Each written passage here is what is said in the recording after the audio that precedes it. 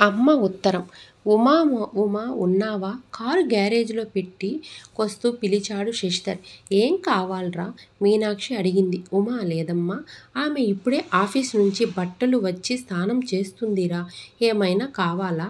మడత పెడుతు పెడుతున్నదల్లా కొడుకు దగ్గరకు వస్తూ అడిగింది. షూ విప్పుతున్న శశిధర్ ఏం లేదమ్మా కాఫీ తెస్తుందేమోనని నసిగాడు. నే తెస్తాలేరా. పర్లేదు వచ్చాక ఇస్తుందిలేమ్మా అంటూ బెడ్రూమ్లోకి వెళ్ళిపోయాడు చివుక్కుమనిపించింది మీనాక్షికి. అంటే తనకు పెట్టడం రాదా? తను ఇవ్వ ఇవ్వకూడదా? నిన్న మొన్నటి వరకు అమ్మ అమ్మా అంటూ నోట్లో అమ్మని తీయనివాడు. ఇప్పుడు ఆ పేరు పిలవటమే తప్పు అన్నట్లు ఉండటం ఎందుకో జీర్ణించుకోలేకపోతుంది. భార్యను పిలవటం తప్పని తను అనటం లేదు. కానీ నిన్న మొన్నటి వరకు తను నోట్లో క కలిపి పెడితేనే తిన్నవాడు, నీ చేతి ముద్ద అమృతం అమ్మ అంటూ మెచ్చుకున్నవాడు, తన ఒళ్ళో తలపెట్టుకుని ఎన్నో కబుర్లు, ఆఫీస్ విషయాలు చెప్పినవాడు. ఇప్పుడు అలా పిలవటమే అపరా అపరాధంగా ఒకే ఇంట్లో ఉంటున్న అపరిచితుల్లా మాట్లాడడానికి మాటలు రానట్లు, కేవలం భార్యనే లోకం అయినట్లు వ్యవహరిస్తుంటే ఎందుకో చాలా ఇబ్బందిగా అనిపిస్తుంది. వాళ్ళిద్దరూ మంచిగా ఉండకూడదు అనటం లేదు. కానీ ఎందుకో తన ఉనికి తనకే ప్రశ్నార్థకంగా అనిపిస్తోంది. ఇంతకుముందు ఎక్కడికెళ్ళినా అమ్మ వెళ్ళొస్తా అనేవాడు ఇప్పుడు ఉమా వెళ్ళొస్తా అంటున్నాడు. మనసులో బాధ సుళ్ళు తిరుగుతుంటే చెంపలపై జాలువారుతున్న కళ్ళను కొంగుతో అద్దుకుంటున్నారు. ఏమండి ఏమండి ఈ సీడీలన్నీ ఎవరు తీశారు? అరిచింది ఉమ. బాబు బయటికెళ్ళాడమ్మా. ఏంటమ్మా? అడిగింది మీనాక్షి. ఇవన్నీ ఎవరు సర్దారు? నేనే సర్దాను. సీడీలన్నీ కవర్ల నుంచి చిందర వందరగా ఉంటే నేను ఆ ఈ సీడీలు ఆ కవర్లో పెట్టి సర్దాను. ఇషిట్ అసలు మీరే మీరే ముడ ముడతారు. నాకిప్పుడు టైం లేదు. ఓ ఈ చివరన రెండు సీడీలు విడిగా పెట్టుకున్నాను. అందులో కలిపేశారు. ఇప్పుడిప్పుడే ఇంటిలో ఎక్కడ ఎక్కడని వెతకటం? విసుక్కుంటూ అంది ఉమ. పేరు చెప్పమ్మా నేను చూస్తాను. మౌనమే సమాధానమయ్యింది అక్క అక్కడింకా నిల్చోబుద్ధి కాలేదు. తనింట్లోనే తను పరాయిదయిపోయినట్లనిపించింది. ఎందుకీ పని పెట్టుకున్నాను? నాలుగు రూపాయలు పడేస్తే అన్నీ అవే దొరుకుతాయి. బజార్లో ఆఫీస్ నుండి రాగానే ఏ కారబిల్లలు చేస్తూ చేస్తున్న అత్తను చూస్తూ విసుగ్గా అంది ఉమ. అయిపోయిందిలేమ్మా పిండి దగ్గర పడింది. ఏ ఏమో ఆఫీస్ నుంచి రాగానే రెండు తింటే ఓపిక వస్తుంది బాబుకి ఇవంటే చాలా ఇష్టం. బయట కొన్నవి అంత మంచివి కావు. అయినా మనం చేసుకుంటే తృప్తిగా వాళ్ళు వీళ్ళు ఆశపడతారు. నాలుగు ఇవ్వచ్చు ఏముంది? రెండు మూడు గంటలు కష్టపడితే సరిపోతుంది. మీరొచ్చే వేళకి అయిపోతుందనుకున్నా కానీ కొంచెం ఆలస్యమైంది ఈ సంజాయిషి ఇచ్చుకున్నట్లుంది. అత్త అత్త ఉంటే చూస్తూ ఉండలేక తను కలవడానికి వచ్చింది. వద్ వద్దులేమ్మా పోయి పోయి వచ్చావు. అదిగో ఆ చే చేసినవి తినేసి వాడు వచ్చినప్పుడు ఇద్దరూ కలిసి తినండి మీనాక్షి అంటున్నా వినకుండా ఆమె ఒత్తు ఒత్తుకుంటూ ఉమా కాల్చి కాల్చి అరగంటలో పని పూర్తయ్యగానే బయటకొచ్చింది. ఏం చేస్తున్నావు లోపల? నే పిలుస్తున్నా రావేం? అన్నాడు శశిధర్. ఏముంది? అత్తయ్యకి ఏం తోచక ఎప్పుడు ఏదో ఒక పని పెట్టుకుంటుంది. నాలుగు రూపాయలు పడేస్తే బయట దొరుకుతాయి కదా వెంటనే ఎప్పటికీ ఏదో పని పెట్టుకుంటుంది. సెల్ఫీ సెల్ఫీలు సర్దుతానంటుంది. దేవుడు రూమ్ సర్దుతు సర్దుతుంటుంది. ఇంట్లో ఒక్కటే ఉండటం కదా పైగా నీకు హెల్ప్గా చేస్తుంది చేస్తుంది. ఆ నేను పెట్టినవి ఒకటే ఒక చోట ఉండక వెతుక్కోలేక చస్తా. అత్తయ్య అన్నం తిన్ తిందురుగాని రండి. రాత్రి అన్నం తినను కదమ్మా పండ్లు తింటా పడుకుంటా. పళ్ళు పళ్ళు పళ్ళకు ఖర్చు ఎంత అవుతుందో ఆలోచించాడు. ఈవిడ గారి కోసమని ఎంత ఎంతైనా చూడకుండా తెస్తాడు వణుక్కుంటుంది ఉమ. ఎంత చిన్నగా గునిగినా వినపడిపోయింది మీనాక్షికి. ఎంత కాంప్రమైజ్ అవుదామనుకున్నా రోజుకి ఆమె మాటలు ఓ ఇట్టోలా మనసుకి తూట్లు పొడుస్తున్నాయి. చిన్నప్పటి నుంచి చాలా రోషంగా ఒక్క మాట పడకుండా పెరిగింది.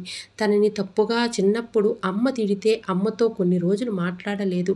తనే పని చేసినా కోడలకు నచ్చకపోవడం చాలా ఇబ్బందిగా ఉంది. మొన్న అన్నీ సర్దింది అని విసుక్కునిందని అడ్డదిడ్డంగా పడేసిన ఆ క్యాసెట్లు సర్దలేదు. వచ్చాక ఇంట్లో ఖాళీగానే ఉన్నా ఇవి సర్ద సర్దదామన్నైనా ఉండదు. పోయి పోయి వచ్చి నేనే చేసుకోవాలి. ఏ గుణగటం తనకు వినపడుతూనే ఉంది. కొడుకుకు తనపై ఎంత ప్రేమ ఉంటుందో తెలుసు.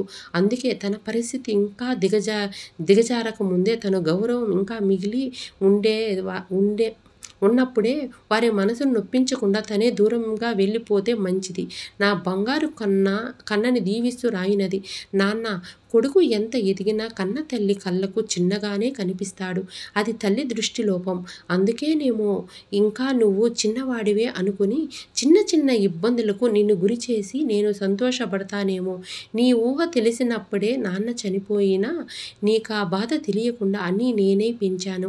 అప్పట్నుంచి నువ్వే నా లోకం అయ్యావు.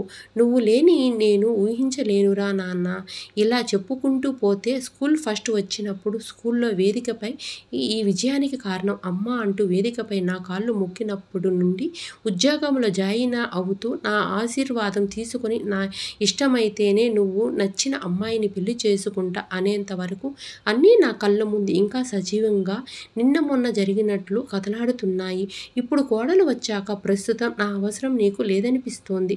ఎందుకంటే నీ బాధ్యతలన్నీ తను తనపై వేసుకుంది.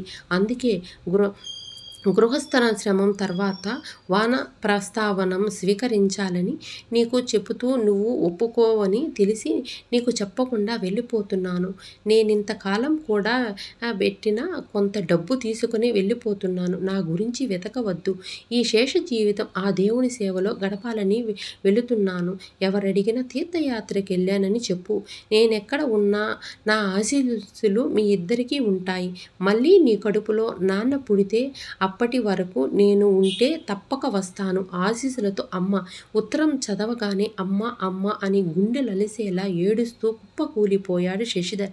కళ్ళ నుండి అశ్రువుల అతని ప్రమేయం లేకుండా క కారిపోతున్నాయి. కల్ కళ్ళ ముందు చిన్నతనంలో నాన్న చనిపోయిన తనను చెంప చంకనేసుకొని కూలి పనులు పాచి పనులు వెళ్ళి తనను కష్టం కలగకుండా ఎంత దూరమైన తన భుజాలపై కూర్చోబెట్టుకొని తీసుకున్న అమ్మ తనకు బలవంతమైన ఆహారం పెట్టడానికి ఈ పస్తులున్న అమ్మ తన కంట్లో వెలుగు చూడడానికి ఆమె కళ్ళ వెనక కన్నీళ్ళు దాచుకున్న అమ్మ కనపడ కనపడకుంటే హృదయం విధారంగా ఏడవసాగాడు. అతని చేతిలోని ఉత్తరం తీసుకుని చదివిన ఉమ కూడా కర్తవ్యం మరిచినట్లు నిస్సృతరాలైపోయింది. కాలం ఎవరికి కోసం ఆగదనట్లు రోజులు కరిగిపోతున్నాయి. శశిధర్ చైతన్యం కోల్పోయినట్లు పరధ్యానంగా ఉంటున్నాడు. ఉమ మనసు పరివిధాల పోతుంది అత్తయ్యతోనూ కొంచెం దురుసుగా వ్యవహరించిన ఏదో పాతకాలం ఆవిడ అనుకు అనుకుంటే కానీ పౌరుషంగా ఇలా చేస్తుందనుకోలేదు. శశిధర్ తనకు తెలిసిన అన్ని రకాల ప్రయత్నాలు చేశాడు. బంధువుల ఇళ్ళల్లో వాకప్ చేశాడు. దగ్గరలోని అనాథాశ్రమాలలో వాకప్ చేశాడు. అమ్మ కోసం దాదాపు పిచ్చివాడైపోయాడు. ఉమకు మనసులో అపరాధ భావం రోజుకి పెరిగిపోతుంది అంతకు అంతకు ఆమె ఇంట్లో తాము ఫ్రీగా ఉండకుండా అడ్డు అని ఫీల్ అయ్యిందల్లా ఇప్పుడు ఆమె లేకపోయేసరికి ఇల్లంతా చిన్నబోయి భర్త ఈ లోకంలోనే లేనట్లుగా ముందు సరిగా తినకపోవటం, నిద్రపోక నిద్రపోకపోవటం, తాను మానసికంగా స్థిరంగా ఉండకపోవటం ఇవన్నీ ఆమె చేసిన పొరపాట్లకు పశ్చాత్తాపపడేలా చేశాయి. ఈలోగా జ్వరం వచ్చింది శశిధర్. అమ్మ అని కలవరిస్తూ మూసిన కన్ను తెరవక తెరవక రెండు రోజులయ్యింది ఉమా వెంటనే అన్ని ఈ ప్రసార మాధ్యమాలలో భర్త గురించి తెలుపుతూ ఒక ఒక్కసారి రమ్మని ఆశిస్తూ ప్రకటనలిచ్చింది. ఆ మరుసటి రోజే ఏడుస్తూ వచ్చింది మీనాక్షి. బాబు నా బంగారు ఎలా ఉన్నావురా?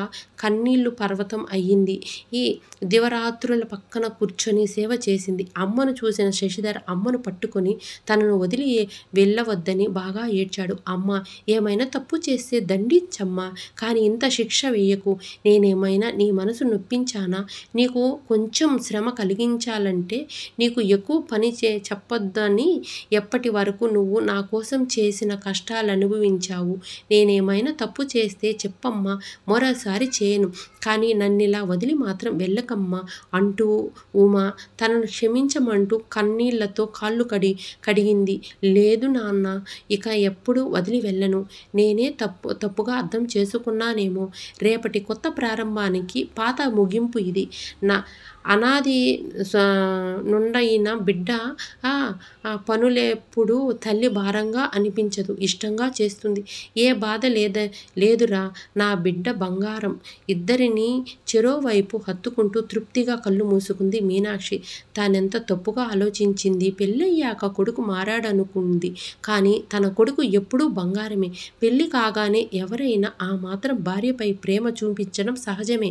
కానీ దానిని తను అపార్థం చేసుకొని రెండు కళ్ళల్లో ఏ కన్ను గొప్పది అని అడిగితే ఏం చెబుతాడు? తను పెళ్ళి చేసుకున్నప్పుడు తన అత్త కూడా ఇలాగే బాధపడిందా? ఏమో తనకు మాత్రం వాళ్ళిద్దరూ రెండు కళ్ళు.